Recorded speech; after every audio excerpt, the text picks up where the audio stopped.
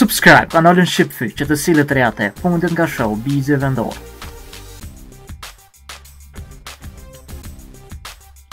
Lorik Cana ka shprehur dëshirën të bëjë edhe një tjetër fëmijë. Lorik Cana dhe bashkëshortja e tij Monika janë prindër të dy fëmijëve.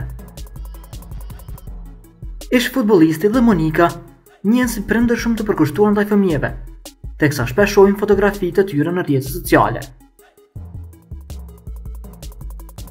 Fëmijët janë lumturia më e madhe e kësaj bote. Në të gjithë kulturat dhe shoqëritë, prindërit u dëshirojnë fëmijëve ardhmëri të mirë. Ndër shqiptarë është kulturë që për fëmijën të lëmë kokën pas dhe të pakët janë ata që flasin shqip dhe nuk ëndërrojnë një familje të madhe. Ndër ta është edhe ish futbollisti i kombëtares shqiptare Lorik Cana, i cili po kërkon edhe një fëmijë të tretë.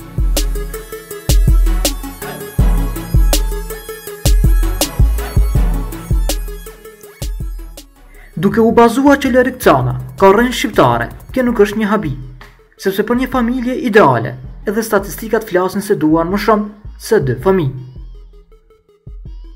Familja duhet të jetë parajsa jonë, e cila na ofron mbrojtje dhe dashuri por asnjë qenie njerëzore nuk është e përsosur. Kështu që asnjë familje nuk mund të jetë e përsosur. Në fakt, ajo që ka më shumë rëndësi është uniteti, pavarësisht nga pikat e forta dhe të dobëta.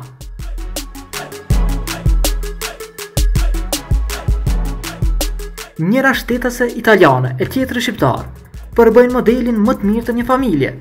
Së fundmi, Lorik Cana ka shfaqur një bashkëbisedim me gruan e tij italiane, ku i kërkon edhe një fëmijë të tretë. Kurse Monika i jep një reagim epik.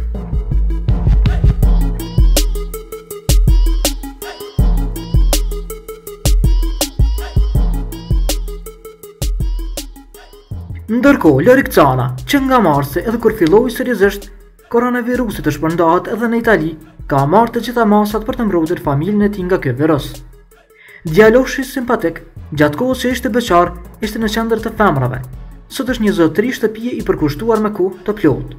Ish futbollisti shqiptar është rehatuar pas martesës me bukuroshën italiane Monika. Por ka një kërkesë interesante për gruan e tij italiane.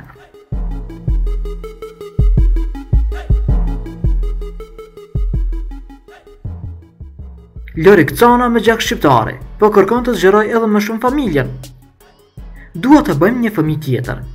Dalin shumë të bukur, i ka shkruar Lorik Cana. Kurse Monika u tregua e prerë. Jo, mjaft, më ke lodhur.